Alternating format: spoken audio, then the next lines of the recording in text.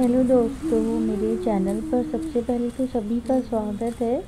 बहुत दिनों के बाद आज मैं खुद के लिए समय निकाल पाई और मैं गई नोएडा में लगा विंटर मेला, जो कि शनिवार और रविवार को लगा है और मेरा ये ब्लॉग पहले ही बन गया था, बट मैं किसी कारण से इसको नहीं अपलोड कर पाई। तो आज जो है, जब ये मेला लग चुका है तो मैं इसकी प्रिपरेशन की वीडियो डाल रही हूँ।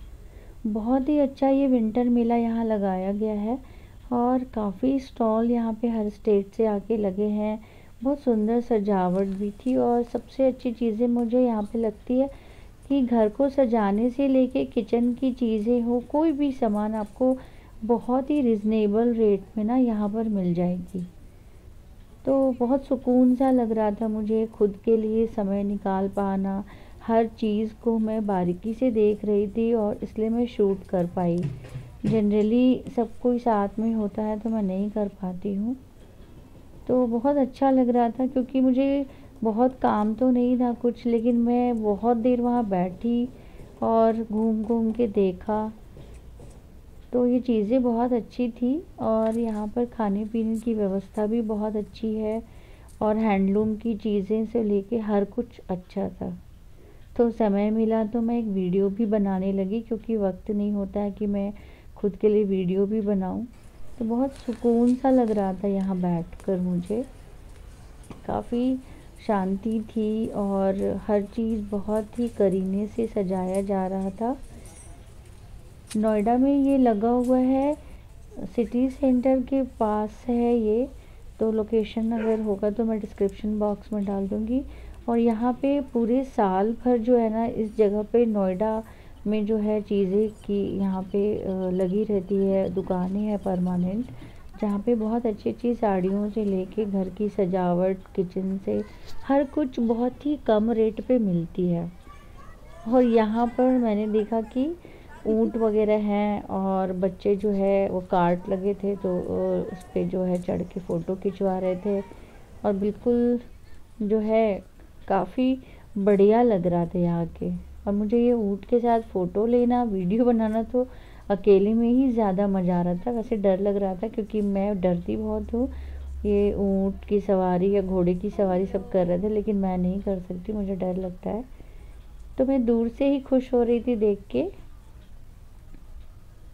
तो बहुत अच्छा लगा कुल मिलाकर यहाँ पर आकर के और यहाँ पर जो है बुक किए जाते हैं पहले से, अगर आपको जाकर फैमिली के साथ खाना पीना है या फ़न करना है तो हर कुछ यहाँ पे बहुत अच्छा इंतज़ाम किया हुआ है और रात के ग्यारह बजे तक ये चलती है, सुबह के दस बजे से खुलती है और रात को ग्यारह बजे तक है। तो ये संडे और सैटरडे को है और वैसे यहाँ पर सरस मेला लगने वाला है। बुधवार यानी कि डेट है आपका सोलह फरवरी से लेकर 6 मार्च तक यहीं पर सरस मेला लगने वाला है जो कि काफ़ी बड़ा होगा और वो मेले के बारे में भी लोगों ने बताया काफ़ी बढ़िया है। तैयारी चल रही है कल की सरस मेला। सरस मेला है ना? क्या है? कब से है मेला? सोलह से तीन मार्च? कौन सा मेला है? अच्छा अच्छा आप लोग ये सब लगाने आए हैं? अच्छा अच्छा। साथ सजावट चल रही है यहाँ पे। काफ़ी ज़ोर शोर से चल रही है। वहाँ भी स्टेज बन रहा है आई थिंक तो काफ़ी ज़ोर शोर से तैयारियाँ चल रही है मेले की। तो जैसा यहाँ पर जो काम कर रहे थे, उन्होंने बताया कि 16 फरवरी से तीन मार्च तक होगा। तो बहुत ही बढ़िया जगह है। आप अपना समय यहाँ बिता सकते हैं। फैमिली के साथ आइए, दोस्तों के साथ आइए। और नहीं हो कोई तो मेरे जैसे अकेले भी हो तो आप आकर के यहाँ पर घूम सकते हैं। अगर आपको अकेले घूमना पसंद है, बिल्कुल मेरी तरह तो। तो मैं अकेले में बहुत देर यहाँ बैठी रही। मुझे सुकून सा लग रहा था और बहुत अच्छा लग रहा था। तो मैं काफ़ी शाम तक यहाँ पे बैठी थी और मैं देख रही थी साज सजावट लोग कैसे कर रहे हैं। फिर लगा कि अब अंधेरा सा होने लगा है तो मैंने सोचा अब घर जाना चाहिए क्योंकि यहाँ पर बाहर निकल के कोई सवारी नहीं मिलती है। तो बस मुझे जाना पड़ा और मुझे बहुत अच्छा लगा यहाँ आकर। तो घर के लिए मैंने किचन के लिए कुछ चीज़ें भी ख़रीदी, वो मैं दिखाऊँगी आपको घर जाकर। तो कुल मिलाकर एक्सपीरियंस बहुत अच्छा था। सबसे अच्छी मुझे लगी यहाँ पे धूप में बैठना, मुझे बहुत अच्छा लग रहा था। और मैंने चाय भी पी, लेकिन वो वीडियो नहीं शूट कर पाई क्योंकि कोई था नहीं। तो मैं बस चाय पी ली, उसके बाद मैंने ये शूट किया।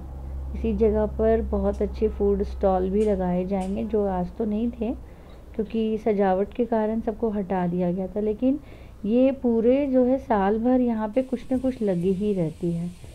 तो बस इसमें मैंने बहुत सारे पॉट वॉट ख़रीदे और उसके बाद मैं घर की तरफ़ चल पड़ी, लेकिन मन तो नहीं हो रहा था क्योंकि मुझे बहुत सुकून सा मिल रहा था और हालाँकि मैं बहुत ज़्यादा आउटिंग नहीं करती हूँ।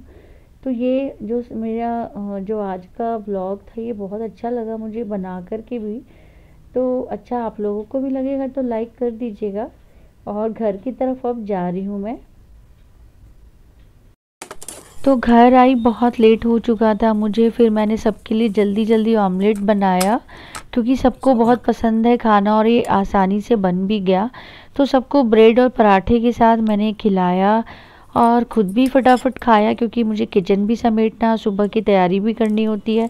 तो सारा काम करके मैं लगी कि चलो अब इसको देखा जाए तो प्रियम ने हेल्प किया इसको ओपन करने में। तो सब कुछ मैं आपको दिखा रही हूँ। मैं एक बड़ी सी पॉट लेकर आई थी कुकिंग के लिए। ये स्पेशली मैंने बिरयानी के लिए लिया, क्योंकि मेरे यहाँ पे वेज और नॉन वेज के बर्तन अलग होते हैं अलग अलग बनाने का और खाने का। तो ये मेरे पास वेज के लिए नहीं था तो मैं वेज के लिए लाई। बहुत ही ये सुंदर, बहुत ही ज़्यादा अच्छा लग रहा था मुझे, और रेट आपको बताती हूँ, सिर्फ़ और सिर्फ़ पाँच सौ रुपये में मिला मुझे, जो कि बहुत कम है, और हज़ार हज़ार में ये मिलती है। लेकिन यहाँ पर बहुत कम रेट में मिला और उनकी जो शॉप है, वो अब छः मार्च के बाद वहाँ पे वापस लगेगी। अभी सरस मेला की वजह से उन सभी को हटा दिया गया है। तो वहाँ से मैंने एक और छोटी सी, बड़ी प्यारी सी स्लीक सी ये ट्रे ली, जो कि मुझे सिर्फ़ सौ रुपये में उन्होंने दिया। और बहुत ही सुंदर सा मैंने ये तीन कढ़ाई का सेट लिया, जो तीनों तीन डिफरेंट साइजेस के थे।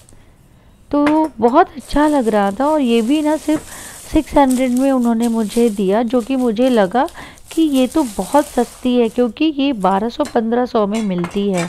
मैंने नोएडा में ही अलग अलग जो रोड साइड्स में लगाते हैं, वहाँ पे देखा। तो काफ़ी कम रेट में यहाँ पे मिल जाती है चीज़ें और इतनी ही खूबसूरत लग रही थी ये। तो बस मैंने इसके साथ साथ एक और प्लेट ली जो मुझे सिक्स की प्लेट्स चाहिए थी, बट उनके पास सिर्फ़ एक ही था, जो उसने मुझे सिर्फ़ वन फिफ्टी की यानी डेढ़ सौ रुपये की दे दी। तो ये इतना अच्छा लगा मुझे, सारा कुछ खरीद के, मुझे बहुत सेटिस्फेक्शन लग रहा था कि मैं चीज़ें भी सुंदर ले आई और रेट भी मुझे ज़्यादा नहीं लगा। तो इस तरह से ये चीज़ें आपको वहाँ पे मिल जाएगी। सरस मेला 16 फरवरी से 3 मार्च है तो ज़रूर जाइएगा। डिस्क्रिप्शन बॉक्स में लिख देती हूँ। तो अब मेरा व्लॉग ख़त्म होता है और मेरा फैमिली का जो टाइम है, वो स्टार्ट होता है। अगली वीडियो तक ले बाय बाय।